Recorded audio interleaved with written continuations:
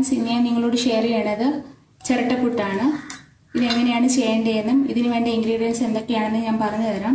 ഇത് ഞാനിപ്പോൾ ചിരട്ടയിലാണ് ചെയ്തിരിക്കുന്നത്. നിങ്ങൾക്ക് വേണമെങ്കിൽ കടയിൽ നിന്ന് വാങ്ങിക്കുന്ന റെഡിമെയ്ഡ് ചിരട്ടപ്പുട്ടിൽ നിങ്ങൾ ചെയ്തെടുക്കാം. എന്റെ ചാനൽ ഇഷ്ടമാണെങ്കിൽ ലൈക്ക് ചെയ്യാനും ഷെയർ ചെയ്യാനും സബ്സ്ക്രൈബ്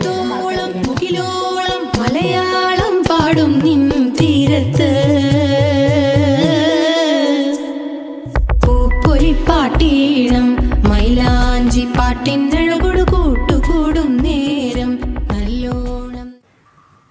ഇപ്പോൾ ഒരു രണ്ടര കപ്പ് അരിപ്പൊടിയുണ്ട്. ഇത് വീട്ടിൽ തന്നെ വറുത്ത് പൊടിച്ചതാണ്. ഒരു പുട്ടിന് വേണ്ടി ഒരു തരിതരിപ്പോട് പൊടിച്ചതാണ്. അതിലോട്ട് നമുക്ക് ഉപ്പ് ചേർത്ത് കൊടുക്കാം. ആവശ്യത്തിന് ഉപ്പ് ചേർത്ത് കൊടുക്കാം. എന്നിട്ട് നന്നായിട്ടൊന്ന് മിക്സ് ചെയ്ത് ഉപ്പ് ചേർത്ത് നന്നായിട്ട് മിക്സ് ചെയ്തിട്ടുണ്ട്. അതിലോട്ട് നമുക്ക് കണക്കിന് വെള്ളം ചേർത്തിട്ട് ഒന്ന് കുഴച്ചെടുക്കാം. ഒരുപാട് വെള്ളം എടുത്ത് ആദ്യമേ ചേർക്കരുത് കുറച്ച് കുറച്ച് വെള്ളം വേണം ആദ്യം ചേർക്കാൻ. എന്നിട്ട് നന്നായിട്ടൊന്ന് കുഴച്ചെടുക്കാം. ഇപ്പം പുട്ട് നന്നായിട്ട് ഞൊടിയിട്ടുണ്ട് വേണ്ട. ഇപ്പം നന്നായിട്ട് നനഞ്ഞിട്ടുമുണ്ട് കണ്ടോ? അപ്പം നമുക്കിത് കുറ്റിയിൽ വെച്ച് വേവിച്ചെടുക്കാം. ഇപ്പോൾ ഒരു അരമുറി തേങ്ങ തിരികെ വെച്ചിട്ടുണ്ട്. അത് നമുക്ക് ഈ ഒരു ചിരട്ടയ്ക്കകത്തോട്ട് നമ്മൾ തേങ്ങ തിരികെ ചിരട്ട തന്നെയാണ് അതൊന്ന് കഴുകി വൃത്തിയാക്കി അതിനകത്തോട്ട് തന്നെ ഒരു കുറച്ച് തേങ്ങ ഇട്ട് കൊടുക്കുക. എന്നിട്ട് മാവിട്ട് കൊടുക്കുക.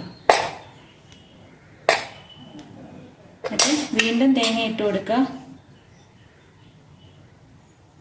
വീണ്ടും കുറച്ച് മാവ് ചേർത്ത് കൊടുക്കുക. ഒരു ചെറിയ ചിരട്ടയാണ്.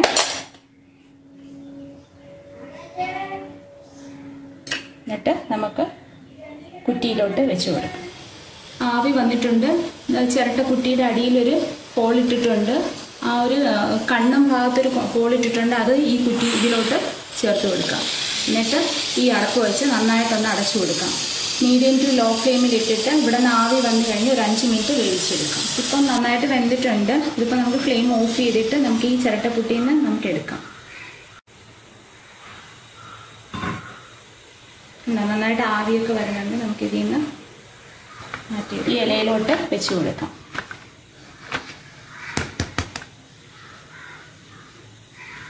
നിങ്ങൾക്ക് വേണമെങ്കിൽ ഇങ്ങനെ തിരുകുന്ന ചിരവയിൽ ചിരട്ടയിൽ ചെയ്യാം. അല്ലെങ്കിൽ ഇത് കണക്ക് റെഡിമെയ്ഡ് വാങ്ങിക്കാൻ കിട്ടും. അതിൽ ചെയ്താലും നല്ലതാണ്. പക്ഷേ ഇതിൽ ചെയ്യുമ്പോൾ കുറച്ചും കൂടി ടേസ്റ്റാണ് കുറ്റിയിൽ തേങ്ങ ഇട്ട് കൊടുക്കാം നിങ്ങൾക്ക് ആവശ്യമുള്ളത്ര തേങ്ങ ഇട്ട് കൊടുക്കുക. എന്നിട്ട് മാവിട്ട് കൊടുക്കുക. വീണ്ടും തേങ്ങ ഇട്ട് ഒരു മൂന്ന് ലെയറായിട്ടാണ് ചെയ്യുന്നത്. വീണ്ടും മാവിട്ട് കൊടുക്കുക. വീണ്ടും തേങ്ങ ഇട്ട് കൊടുക്കുക.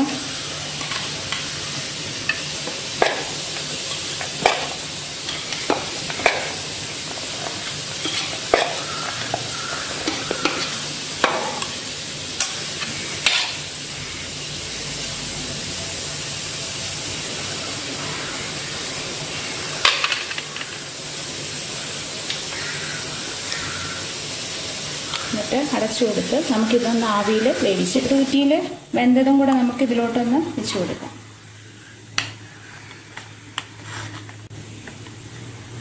നല്ല നല്ല സോഫ്റ്റ് പുട്ടാണ്. ഇത് നിങ്ങൾ വീട്ടിലൊന്ന് ട്രൈ ചെയ്ത് നോക്കുക. Thank you for watching Nella's kitchen Pooppoli പാട്ടീണം മൈലാഞ്ചി പാട്ടിനഴകൊടു